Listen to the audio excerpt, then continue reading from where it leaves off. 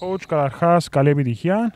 Πώς προετοιμάζεται η εθνική και ποιοι είναι οι στόχοι; Ε, εντάξει, τα παιδιά είναι, είμαστε αρκετά ικανοποιημένοι γενικά με την, με την επιμέλεια των παιδιών.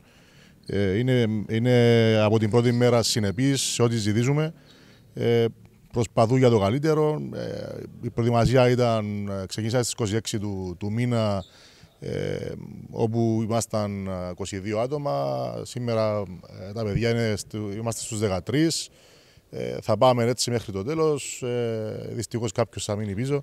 Αλλά έτσι είναι η, η ζωή των αθλητών και ιδιαίτερα των παιδιών που είναι στις εθνικές ομάδες. Ε, τώρα από άποψης προετοιμασίας ε, θεωρώ ότι υπάρχει κάποια ταλαιπωρία για κάποια παιδιά που έρχονται από άλλες επαρχίες ε, με τα λεωφορεία, ε, αλλά αυτό το ξεπερνούμε όταν μπαίνουμε μέσα στο γήπεδο.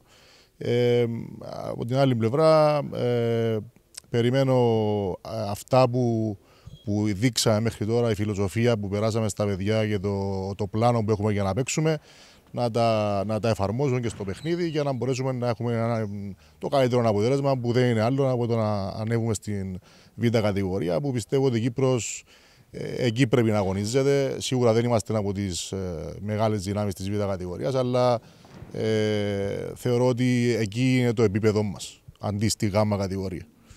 Πώς προσεγγίζουμε την πρώτη αναμέτρηση και έχει κάποιο, κάποια σχέση η προϊστορία; Ε, δεν θεωρώ ότι έχει σχέση η προϊστορία. Εντάξει, κάποιες χώρες ε, παραδοσιακά παίζουν στη γ' κατηγορία.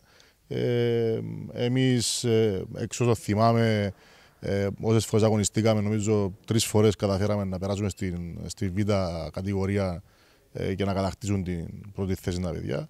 Ε, εν τούτης δεν νομίζω ότι παίζει σημαντικό ρόλο, είναι, είναι και θέμα ε, ηλικιών, ενώ φουρνιών περισσότερο.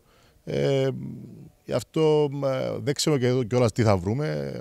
Έχουμε κάνει ένα, ένα, μια μικρή αναγνωριστική ε, επαφή με περσινά αποτελέσματα και βίντεος που βρήκαμε, αλλά ε, νομίζω ότι ό,τι και να είδαμε φέτο είναι εντελώς διαφορετικά πράγματα. Κάποιες ομάδες που ίσως τερμάτισαν στα πιο ψηλά στρώματα να μην είναι το ίδιο καλές.